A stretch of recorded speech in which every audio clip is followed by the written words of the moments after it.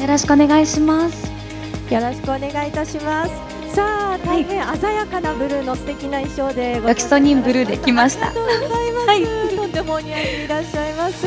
さあということでここからはいろいろとお話お伺いしてまいります、はい、よろしくお願いします。お願いします。ではどうぞお書きください、はい、今は生活の一部になってますけど料理するときに、はい、あの千切りはストレス発散になってます。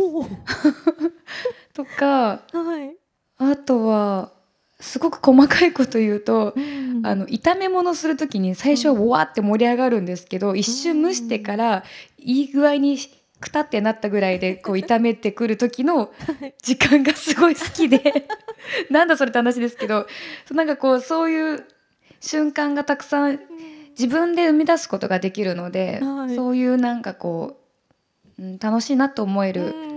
なんかこの時間好きだなと思える時間は増やしていきたいなと思います。なるほど、ね、でもなんかちょっとわかるような気がします。すいません。何かに夢中になるっていうこともね、はい、大事ですもんね。